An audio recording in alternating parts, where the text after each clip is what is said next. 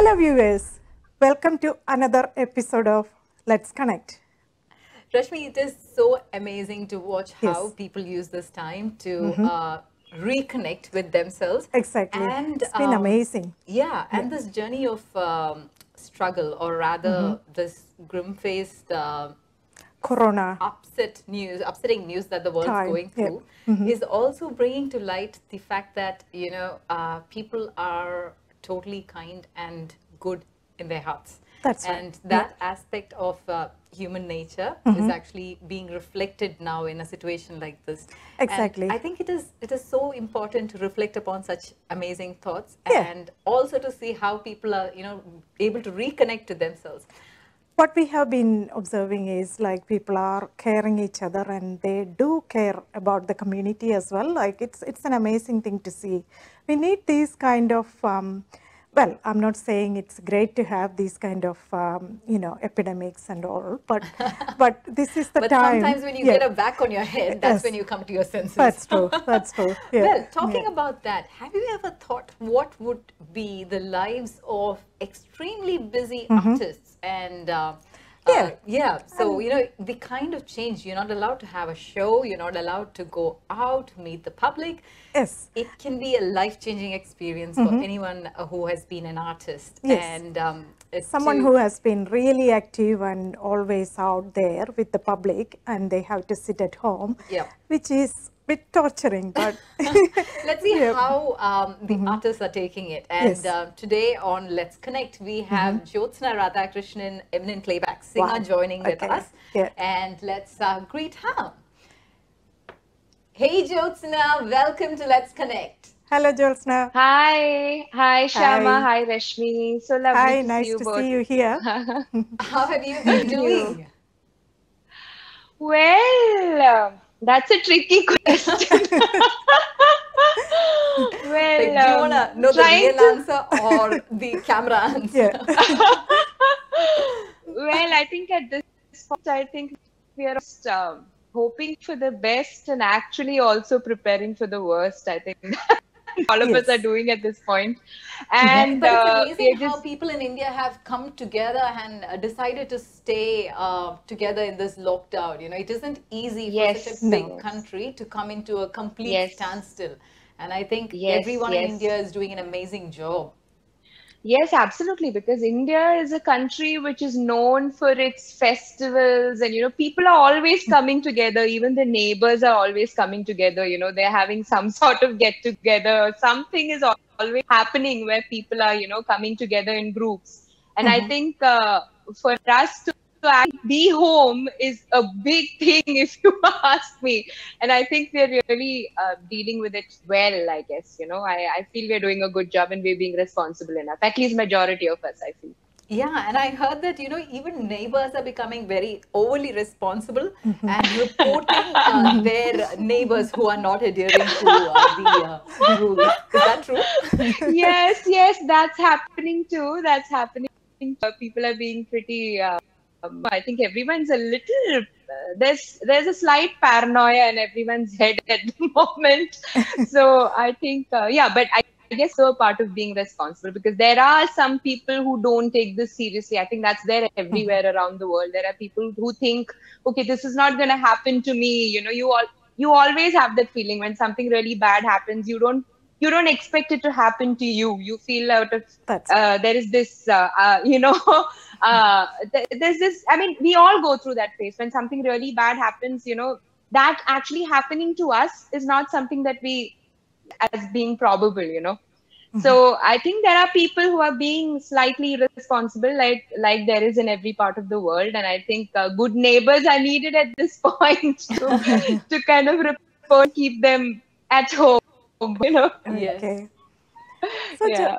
yeah Jyotsna, I was thinking like all these weddings and everything being called off like um h- have you got any anything like any of your friends weddings or anything how did they cope with that Well, yeah. Uh, actually, my nephew was supposed to get married uh, on the 5th of April and they had to call off the wedding, obviously. But I think it was a very nice decision for them to do that. Now that, of course, we're in a lockdown, we can't do that anymore.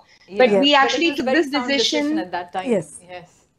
Absolutely, absolutely. They mm-hmm. thought it is the right thing to do because I mean it, it's many people at risk. So we all were like, you know, we, we'll we'll you know we'll we'll enjoy it once the time passes, you know. So maybe Yeah. it's good for him too. He can enjoy this courtship period a little more and you know, then another way to look at it, Yeah. now that Yeah. we're all married, we know Yeah, how, how amazing courtship used to be once upon a time. yes. All right. Uh, talking about that, you have had such an amazingly busy life, um, Yes. moving from one show to the other, from one venue to the other, uh, traveling Yes. from one place to the other in terms of shows and events. Um, and that has suddenly come to a standstill. Yes, It absolutely. was hooray face in the beginning, but How are you going now? It's been a bit, right, since the lockdown.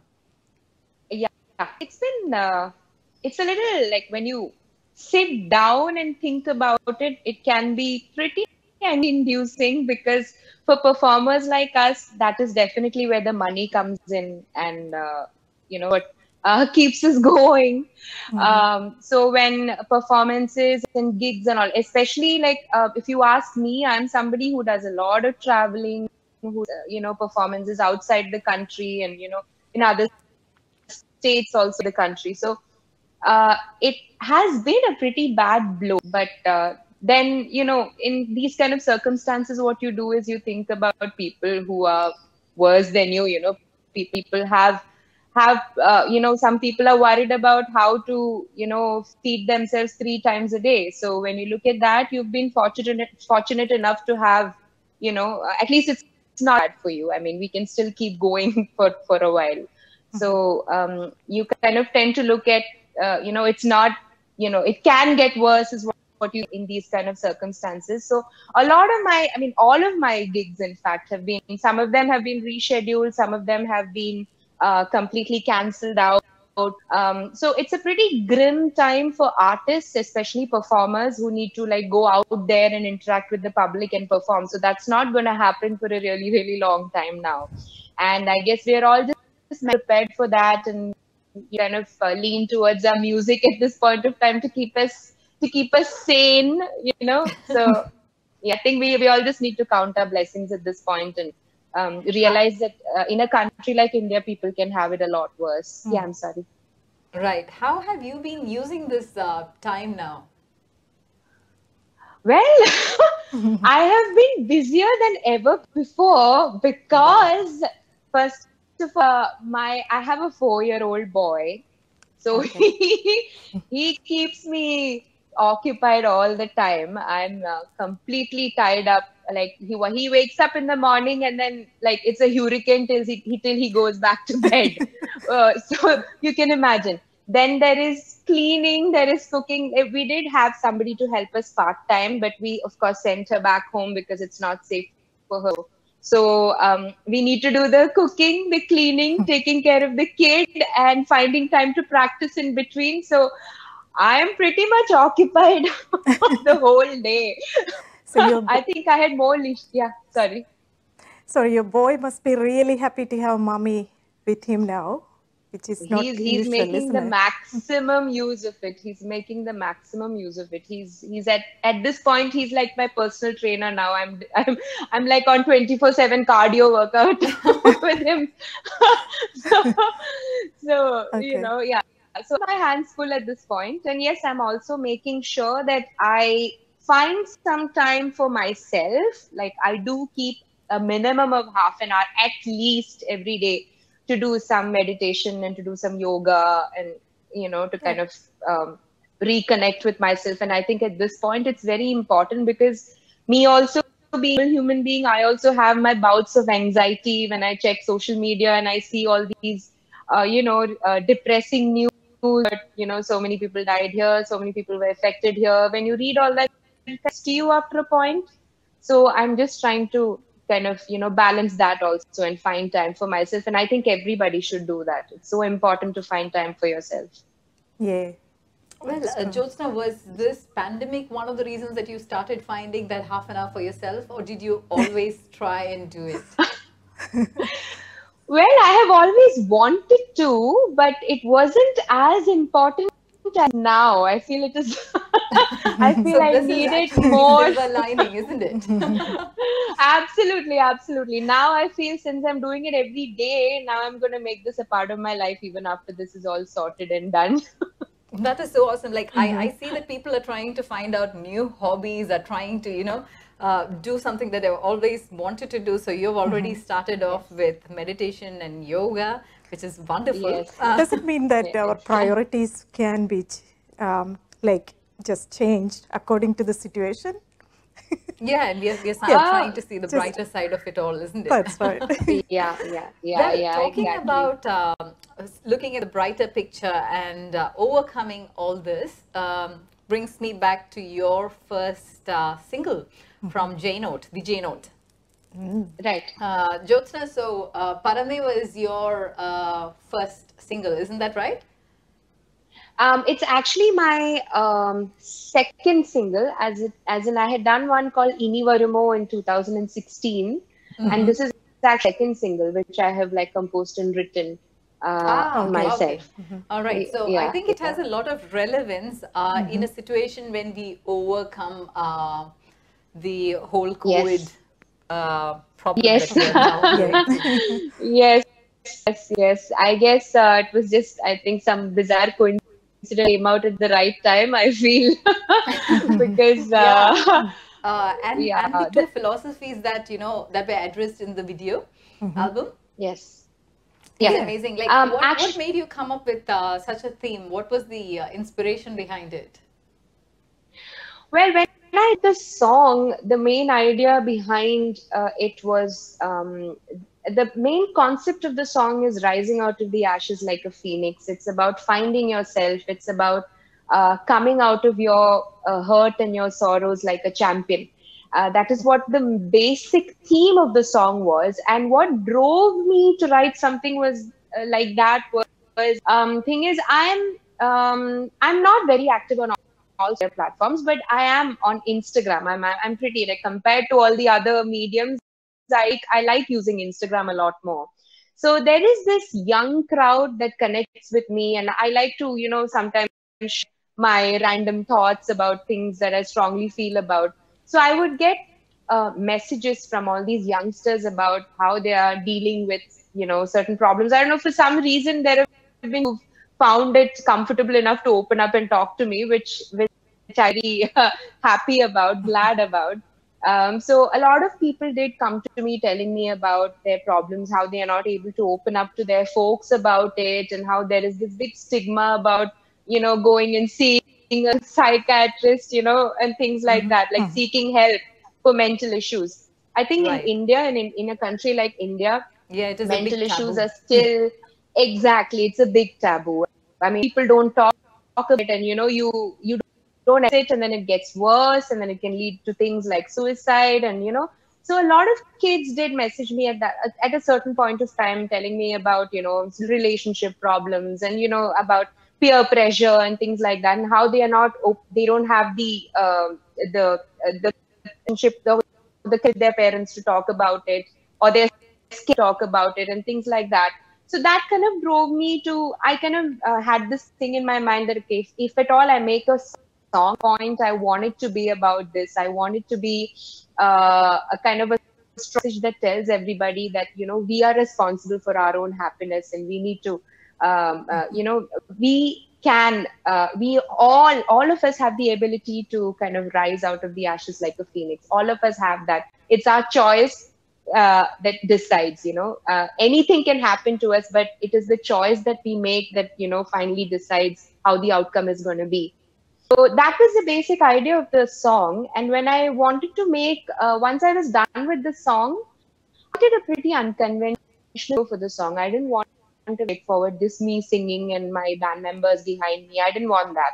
I wanted a completely unconventional video that made the viewer think and that is when the director of the video his name is gilbert gilbert xavier uh, i had a long talk with him and uh, he heard the song times and it is he who actually brought this spiritual angle into the whole concept and i thought it gelled so well with the basic concept of the song so there are two uh, Japanese philosophies that are addressed in the video. One is Enso and one is that of Kintsugi.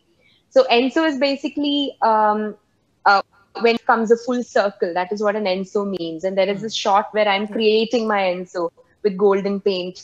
And uh, uh, the other philosophy that is being uh, on here is Kintsugi. Kintsugi is basically a Japanese art form and uh, it is a form of pottery actually where broken vessels are put together using gold and the basic ideology behind kintsugi is that um, your sorrows and uh, your uh, whatever dark phase that you go through in life it is that that makes you beautiful it is how how you how you are put together after facing your problems and how you come out into the light is what makes you beautiful and kintsugi is considered to be a very very beautiful piece of art. Kintsugi bowls are considered to be very beautiful to look at, and I'm sure you must have, you know, at some point of time come across Kintsugi bowls in your life. Um, so there is this shot in the end where I'm shown as this human representation of Kintsugi. So that is the basic theology, and I think it gelled really well with the basic concept of the song. And um, a lot of people, I did get a lot of feedback uh, once the song came out that you know i got messages like i wake up in the morning and i listen to it and it gives me the uh, spirit to kind of just jump out of bed and go you know.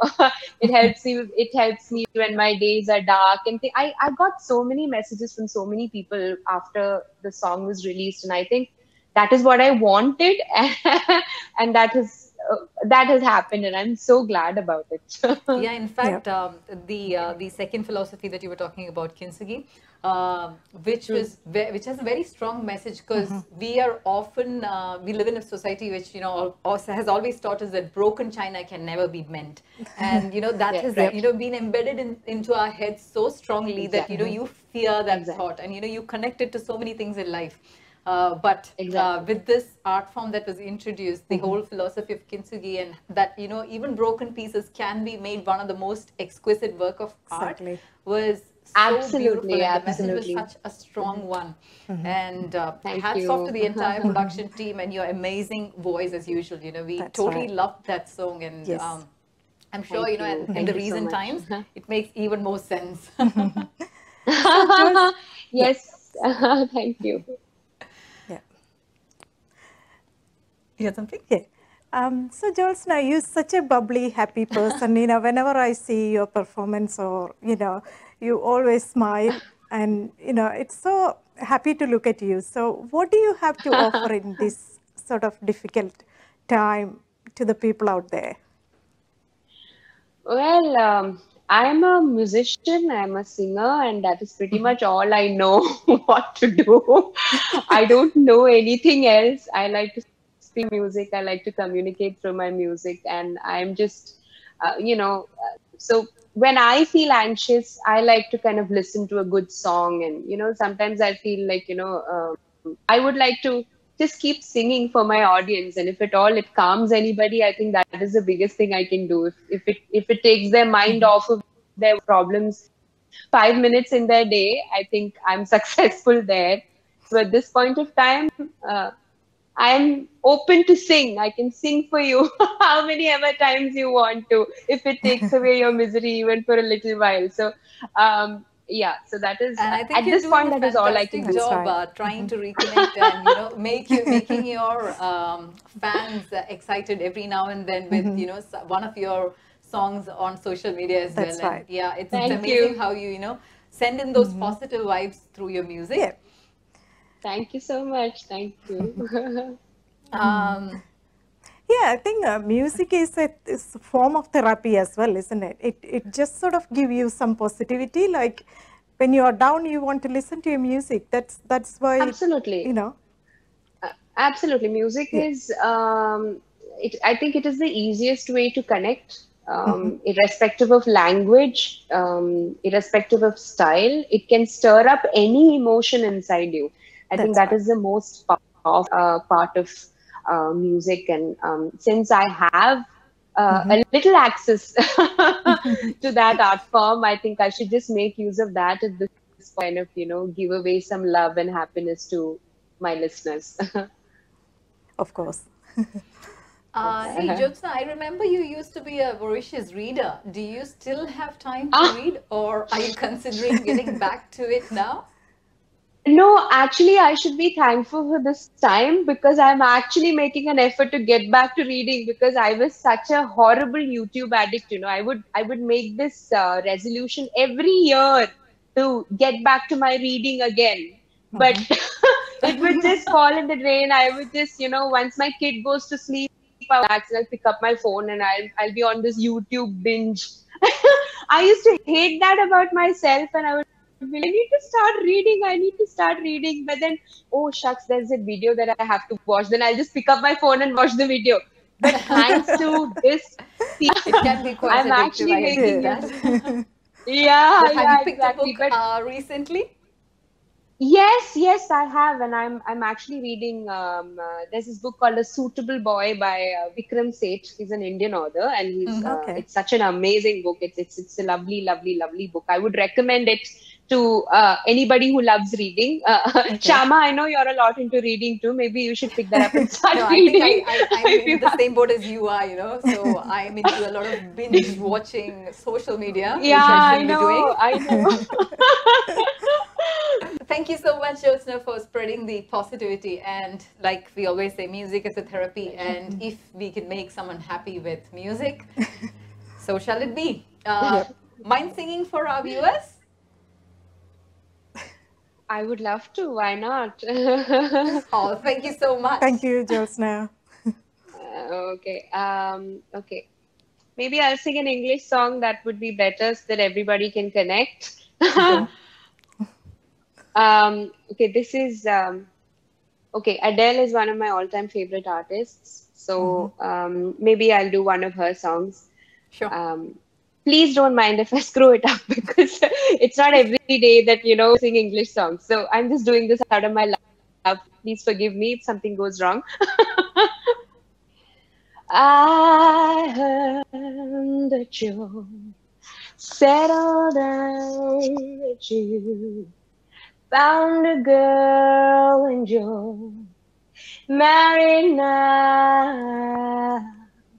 I heard that your dreams came true, that she gave you things I didn't give to you. Oh, friend, why so shy? Ain't like you to hold back or hide from the light. I hate to turn up out of the blue uninvited, but I couldn't stay away. I couldn't fight it. I'd hoped you'd see my face and that you'd be reminded that for me it isn't over. Never mind, I'll find someone like you. I wish nothing but the best